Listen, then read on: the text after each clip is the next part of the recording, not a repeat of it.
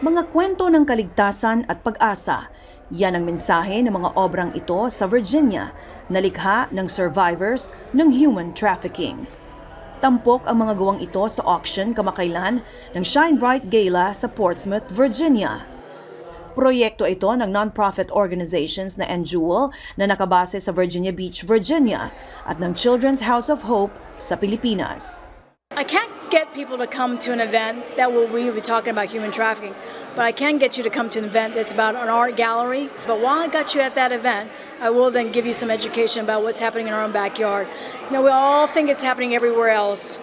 Ayon sa Filipino-American founder ng NJUL na si Naomi Estares, naging daan ang sining para tulungang makabangon ang mga biktima ng exploitation.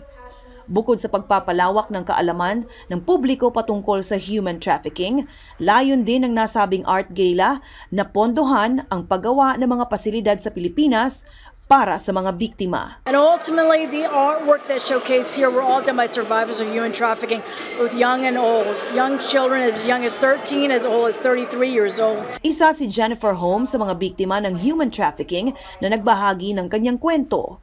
Dito, binalikan niya ang ilang taong karanasan sa kamay ng traffickers.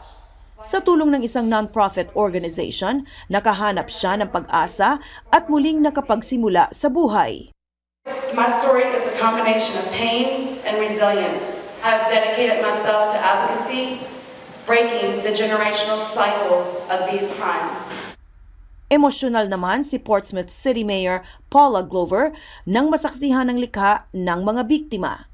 Hinimok niya ang lahat na lumahok sa mga inisyatibo para wakasan na ang human trafficking. This crime is unspoken of, and it's not very publicized. I'm going to make an effort in my role in the things that I do every day to bring more awareness, to bring more resources to this effort. Ayon sa US State Department, tinatayang nasa mahigit 27 milyon ang biktima ng human trafficking sa buong mundo.